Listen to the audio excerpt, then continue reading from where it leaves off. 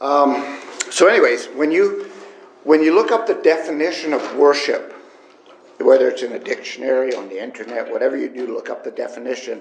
It it the first thing that comes up is it's a feeling or expression of reverence and adoration for a deity. You will also find a whole lot of other definitions that kind of fit in with that, some and some don't fit in so well. The language of the Hebrew text that we're going to look at this morning, which is Psalm 96. Um, the, the Hebrew literally translated means to blow a kiss toward or to kiss toward. It also includes other things like paying homage, uh, bowing down, etc., serving, all of these things. But it's interesting because we usually blow a kiss towards someone that we love and we adore, right? And that's what worship is supposed to be. It should always be done in reverence to the high, to the higher from the lesser. Okay? The, the higher never worships the lesser, the lesser worships the higher. Um, it involves things like prostrating yourself, bowing down, um, and a, a number of other things that we can do physically. In Psalm 96, it speaks to the idea of congregational worship or community worship rather than individual worship. The call is for all peoples or all nations of people. It is interesting when you read 1 Chronicles 16, verses 7 to 36. Now, there's a few more verses there, but you will notice that the words of this psalm are taken directly from that passage of Scripture. Uh, the Ark of the Covenant has just been brought back to Jerusalem, uh, 1 Chronicles 15, and now King David offers burnt offerings to the Lord before the tent that he had erected where that was over the Ark of the Covenant. And he sings this song of praise to God after blessing the people. It isn't the entire song, but it's, it's this psalm is part of that song. In Psalm 96, David points out two specific things of utmost importance to us when, we, when it comes to worshiping God. There are many things and perhaps many people in this world that we can worship. People worship Hollywood stars, they worship their favorite sports hero, they worship money, they worship all kinds of material things. David points out here that the object of our worship should be God. He is the only one that is worth worshiping. He is the only thing that is worth worshiping. And he deserves our worship. So the object of our worship is very, very important. You could say it's a matter of life and death. The second thing of importance, David points out, is the reason for our worship being directed to God. I like it when personally when things make sense. You know, when, when two and two equals four, that's good with me.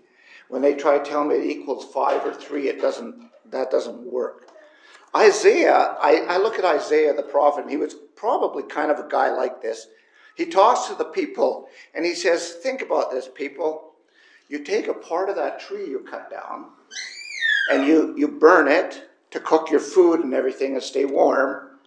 And then he says, You take the other part of that tree and you carve yourselves idols out of it. Does that make sense?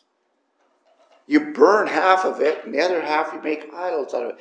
Things that cannot help you, that have no life. And you, you bow down and you worship those idols. Does that remind you of someone today, or people today sometimes? For sure. How can a piece of dead wood, this is what Isaiah is really saying, how can that piece of dead wood that you just burned, the same piece of wood, do anything for you? It has no life and, and it can't do anything for itself. You're the one carrying it around and, and you're worshiping that thing? That makes no sense. In fact, he says at one point, he says, there is no knowledge in the people anymore. There is no discernment. People aren't thinking, they aren't reasoning through things anymore. And I think we can relate to that today, can't we? Therefore, we have to consider carefully the object of our worship and the reason for our worship. And so this morning, I want us to walk through this psalm as we consider God as the object of our worship and consider the reasons why we worship Him. David says, Sing a new song unto the Lord. Some people think that having something new, something different all the time is good. That's not what David's talking about here. Because Solomon said, There's nothing new under the sun. So we're not going to surprise God with anything new. But he says, Sing a new song. And what he's really saying is he's saying, Sing a refreshed song of praise to the Lord. So, you and I, when we gather as a church, there are people that say, man, we need the new songs. The old ones are, are boring and they're, they don't, they just don't, they don't get me anymore and all of this stuff. And, um, and I look at them and I say, consider this. You sang that song for how many years and it had a zeal in it for you, right? Yeah. But but it's just it's lost that. No, the hymn hasn't lost it. Who's lost the zeal? The heart of the person's lost the zeal is what's going on. And we've got to place that in the right place. So David says, Your heart's going to get that way once in a while. He said, Sing a refreshed song to the Lord. Um, and, and so, because God is praiseworthy, and it's exciting, and it's encouraging, and it, to sing out and to shout out about the marvelous works of God. Do you, do you consider the works that God has done? I mean, this God created everything we see and know. This God created you and I. That little baby, God created. Those little ones, God created them. And they are such a blessing. He created everything. He is a forgiving God. He's a God that sustains us. He saves us. He restores us. He loves us and is merciful towards us. His marvelous works need to be considered. That should make us want to sing out in praise to Him who has blessed us with the great salvation and brought us back into the arms of His family. He deserves our worship. David says, For he is great and greatly to be praised, to be feared above all gods. The, the word great here in the Hebrew sets the living God of heaven so far apart from those other gods of the world that they can't even come close. He is so much greater. He is everything that they are not. He is the giver of life. They themselves don't have life. He is the Father of eternity. They waste away to nothing. Nothing in any way, shape, or form can come close to, in comparison to the God of heaven. Nothing. He is supreme over everything, so much mightier, so much more holy, so much more righteous, so much more pure and moral and, and spiritual. He is everything that we should desire to be. We ought to praise Him for that. That's a good reason to praise Him. If you dare to compare the gods of this world to Him, you will see the inadequacy of these gods and their abilities to do anything, to give you anything, to help you with anything. In fact, you're the one that has to help them around even when you move around. Think about it. How foolish is that? So God is praiseworthy. Look at all of the things He's done for us. He deserves our praise. His splendor, His majesty, His strength, and His beauty. The psalmist praises God, or he says to praise God for this. And he talks about those things. It's interesting.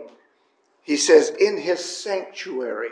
And sometimes when, when the translator translates things, they will take and so if the Hebrew says literally in his holy place, they will say sanctuary in that stead.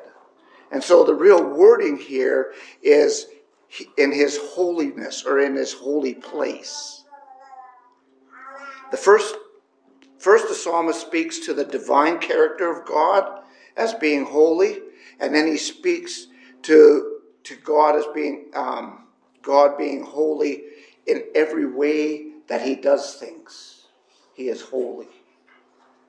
And so David wants the people to understand the significance of the Ark of the Covenant being there back in Jerusalem. He is celebrating the fact that the living, or the place where God lived amongst his people, was with them again. The splendor of God, the majesty of God, his strength, his beauty was all right there in front of them in that Ark of the Covenant. And he wanted them to know that. These attributes of God are seen in His holiness, in His holy dwelling place. And so for you and I, it's in heaven. And we'll get to that. But in that Ark of the Covenant, God sat on the mercy seat with the wings of the cherubim over top of him. So when we see Jesus, when we see God in all their glory, think about the wonderful sight it will be to behold. Think about that. It will be so much more majestic and glorious than we can even imagine with our physical minds that we have. So, in the first six verses of the psalm, David encourages the people to sing praises to God, refreshed praises to God, because of his greatness, because of his beauty and majesty, his strength and his splendor. He is the one who is worthy of our worship and praise. He is the life of us. He is the life of men. He created us, not like those empty vessels they called idols that were void of life themselves. But God is also holy. The ESV translation in Psalm 96, 7 and 8 says, Ascribe to the Lord. And probably most of us understand what that means. But ascribe means to credit the Lord or give credit to the Lord or assign to the Lord. And of course, the simplest form would be give to the Lord. So, whatever he's talking about giving, he says he wants you to give it to the Lord or credit the Lord for it. The exhortation to families is telling them that worship or, or accrediting things to God um, isn't only an individual thing, it is a corporate thing, it's a family thing who are united by the strong ties of blood. Now that's family. So think about this. You and I, as the church, are tied together. We are united by the blood of Christ. We're united together as his family. And so, as his family, we should be lifting up worship and praise to him as a community of people. That's what David's saying. If our if the family want, is is joyous, we should be joyous. If the family is struggling, we should be mourning and, and enduring adversity together. It's something that a family does. But in all of that, we are worshiping God. Remember that. We are worshiping Him. And so David encourages us here in our worship of God to give credit to God for His strength and His glory. Think about this. Without his strength and his glory, would the church exist? It wouldn't exist. It only exists because of him. Romans 15, Paul prays for the church to live in harmony. And in verse 50, in chapter 15, verse 6, he says that together, so that together you may with one voice glorify God the Father and our Lord Jesus Christ. To God be the glory forever and ever. Amen. The Hebrews had a great number of names for God. Did you, do you know that? God was, depending on their situation, they used a different name for God.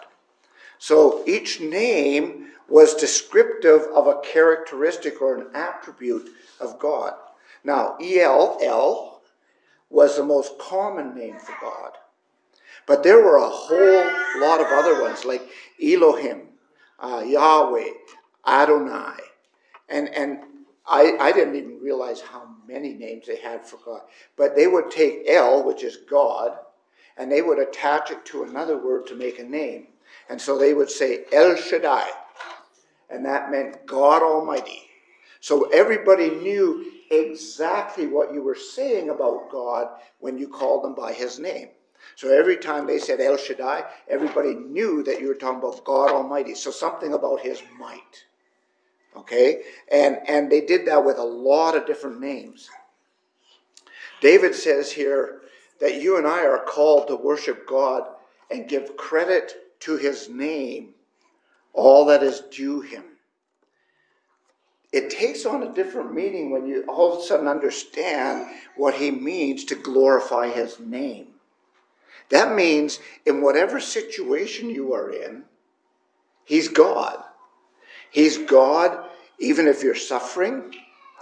He's the God of salvation. He's the Almighty God. He's Lord God. He's all of these things. And we have to attribute all of that to Him or credit Him with all of those things. So that's why we are supposed to glorify His name. So part of our worship is offerings to God. Paul tells us in Romans chapter 12, verse 1, he says, By the mercies of God, we should present our bodies as living sacrifices, holy and acceptable to God. That is our spiritual worship. Think about that. As you're doing stuff through the week, do you realize that what you're doing is worshiping something? And we want to make sure it's worshiping God and not something else. And we need to be cognizant of that. Everything we do in this world is a worship to something or someone. And we want our worship to always be of God, to glorify Him, glorify His name. We want our, our, our sacrifices to come up as a sweet aroma before Him, a pleasing worship to Him. And in turn, He is glorified. His name is glorified in all the world. And then in verse 9, David makes it really clear that we cannot wholeheartedly and honorably worship God without complete humility and reverence. Have you ever thought about that? Worship Him, David tells us, in the splendor of His holiness. Not how holy we are, not how good we are, not anything about who I am, but worship Him in His holiness in his holy place. The splendor of holiness is found in his sanctuary. So think about this as Christians today. Hebrews chapter 4 and verse 16 says, Jesus is our high priest, and because of our high priest, we can draw near to the throne of grace that is in the sanctuary, not built with hands, but sanctuary that God has built in heaven. You and I enter his throne room through Christ, worshiping him. How amazing is that? We also need to understand the awesomeness of God and that we and all creation should tremble before him, David says, because he is to be feared and revered. That is where humility on our part comes in. Hebrews chapter 10, verse 26 through 30, de- deals with some ungodly things that man can fall into. And in verse 31, he concludes the passage saying, It is a fearful thing to fall into the hands of the living God. Now, that doesn't have to scare you. That doesn't have to uh, put you in dismay. Those things are mentioned to show us that doing those things can get us there, but we don't have to be doing those things. This helps us to see and to understand the importance of humility and reverence before God. So, first, we worship God because He is worthy of every bit of praise that we can muster. And secondly, we worship God because He is holy, He is righteous, He is etern- the eternal splendor and majesty in heaven that deserves our humble and reverent worship. And then there's still a couple more things that he brings out here in the psalm. Psalm 96, verse 10, he says that among the nations the Lord reigns. Now, I don't know about you, but when I read the word reign, the first thing that jumps into my mind is he's king. Right? And then he, but David says, this has been established and will not be moved, or it will not be changed. And then he says he's going to judge the world with equity and righteousness. But when you hear that word, you, you think right away, okay, God is king. You need to understand how the Israelites would have looked at this. In Israel, the king would go down to the gate at certain times and he would sit. They had a place for him to sit, probably quite fancy because he was the king. But he would sit at the gate, and the people could come to the gate before the king and lay their cases out before him or their struggles they're having or whatever it was, and the king would give them a verdict. He says, God is king. Okay, so um, we need to we need to understand that he is king and that his verdict is the verdict that's going to stand. You see, he's king of kings. He is king of all those kings that sat in those gates, and king of any king on this in this world. He is king over them. So how much more weight does his authority carry? In Revelation 15 is the scene of seven, the seven angels with the seven plates. And the saint, the saints that have gone before are there with them, and they sing the song of Moses. Great and amazing are your deeds, O Lord God the Almighty. Just, just and true are your ways, O King of the nations. Who will not fear, O Lord, and glorify your name? We are doing sorry, that, that's the that's the passage in Revelation 15. And that is what we're doing here this morning. We are worshiping God. We are trying to glorify his name the best we can. Because we want him to be glorified because he truly deserves our worship. Now, there are quite a number of times in Scripture where the writer will use the, an inanimate object of this world to show just how deserving God is of worship or other things. Jesus himself said in Luke chapter 9, 19 and verse 10, when he's entering Jerusalem triumphantly, and his, his apostles and his disciples are singing and they're saying, Blessed is the King who comes in the name of the Lord, peace in heaven and glory in the highest. And, and the Pharisees are there, and they're looking at Jesus and they're distraught because they don't believe that.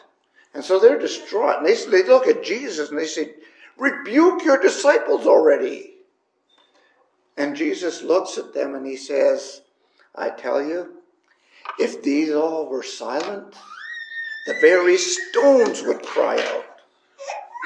Have you ever heard a stone cry out? He's making an emphasis, he's making a point. You're not going to shut up. You're not going to shut up the people for God. You're not going to shut God up. Period. David in this psalm says a similar thing. He says, Let the heavens be glad and the earth rejoice, the sea roar and the fields exult, the trees and the forests sing before the Lord comes. You know, that kind of puts things in perspective. It's going to be an exuberant reunion for those who worship the Lord. But David wants those who aren't worshiping the Lord to understand if an inanimate object would worship God, what does that make you if you choose not to worship God?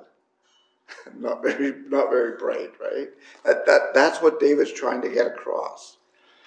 And so the final reason we should choose to worship God is that he comes to judge the earth. He's the judge. You know, the king, when he sat in the gate, he was the judge. God is the judge of everyone. Many scriptures speak of God's judgment to come. Hebrews 9 and 27 says it is appointed for man to die once and then the judgment. And Jesus talked in his ministry a lot about judgment, more than anybody in this world that I know now wants to ever talk about it. Most people want to avoid it, the subject. But Jesus talked a lot about it. Matthew 25 is where Jesus talks about the final judgment and the nations are gathered before him. And there are some on the right and some on the left, and they're separated. And he says to the ones on the right, he says, Come, you blessed of the Father, and inherit the kingdom. And then he looks over to the left, and he says, Depart from me, you cursed, into the eternal fire prepared for the devil and his angels. Let me ask you, is that, is that good enough to make you want to worship God? To desire to worship God? It is for me. One of the scariest passages is where Jesus says, Not everyone who says, Lord, Lord, will enter the kingdom of God. Only those who do the will of the Father. We got to have humility. We got to have reverence for God. And we need to listen to God. We need to have faith in Him and obedience to Him. So there's no doubt in the fact that God is King of all nations and that He deserves every ounce of worship that we can probably possibly get.